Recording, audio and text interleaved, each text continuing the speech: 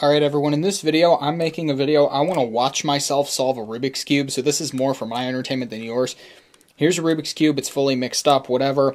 I'm just going to solve it, I'm not timing myself, I just want to see myself solve it. So, uh, get in position, and here we go.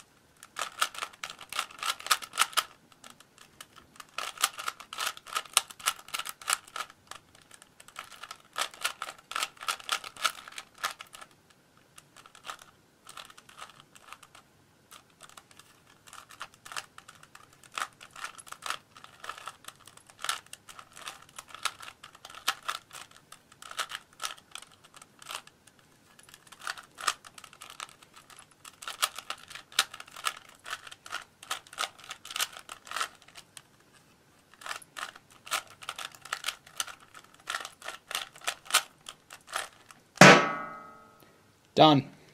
All right, that's all. Isaac24.com. Just wanted to watch myself do that.